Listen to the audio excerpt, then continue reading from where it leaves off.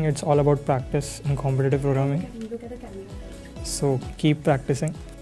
The whole spirit behind this event is to make coding more fun, very inclusive, and for you to be able to benchmark yourself against your friends across the globe in terms of how you're coding.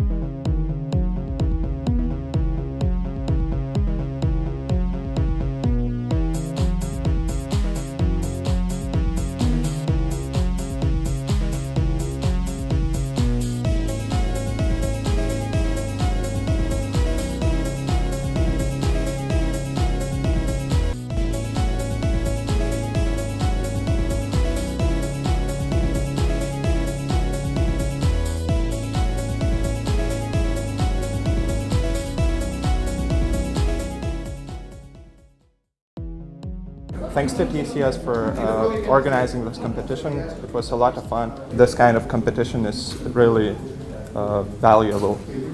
My name is Jakub Dargaj and My name is Jena. We are coming from Slovakia and this is wor- uh, was our first time in CodeVita. about Code Vita and what is our motivation.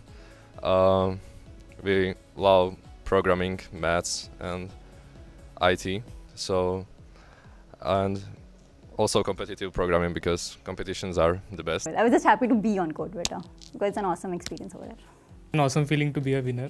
So the contest was great. The organizing committee was great. The team, I would like to thank the entire TCS CodeVita team as well as the problem setters. The, the contest was very good. The prize money, of course, is good.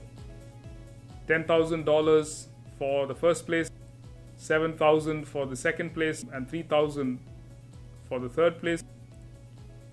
But I think the learning, the network opportunity to be with the best, the opportunity to engage with myself and my team, this will be an opportunity of a lifetime.